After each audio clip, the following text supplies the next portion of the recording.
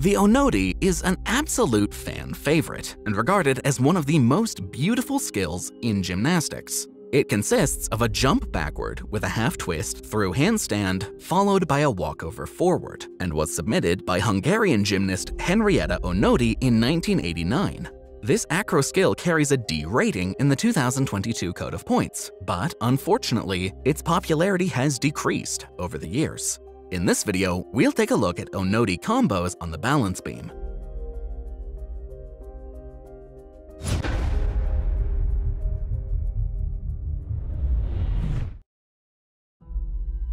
The Onodi to full twisting wolf jump was performed by American gymnast Nastia Liukin in the 2005 quad, and actually aged pretty well, considering it is worth more now than it was back then.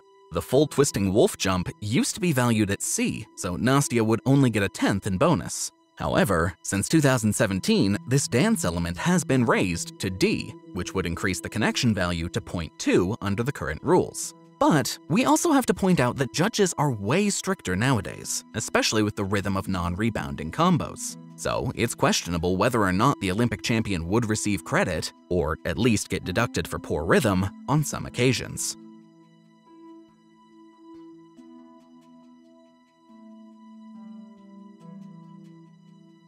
During the same quad, American gymnast Shayla Worley performed an Onodi sheep jump combo, which also gave her a 10th in bonus. In 2006, Shayla tried to connect an aerial walkover between these two skills, which would bump up the bonus to 0.3. However, it was a bit inconsistent, and she ended up removing it. By 2008, the world champion had taken out all additional skills and was performing the Onodi by itself or ending in an arabesque position.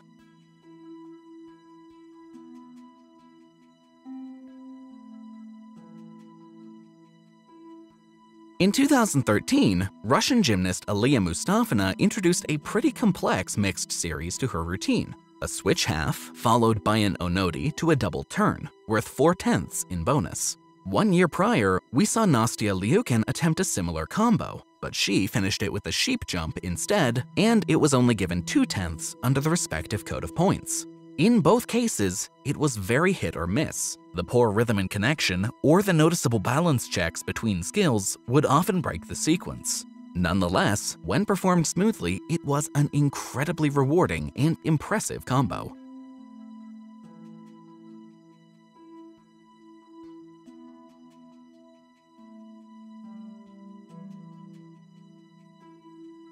The Onodi illusion turn combo was performed by Russian gymnast Anastasia Grishina in the early 2010s. Her beautiful lines and toe point made this a beautiful combo to watch, even though her rhythm could be a bit slow sometimes.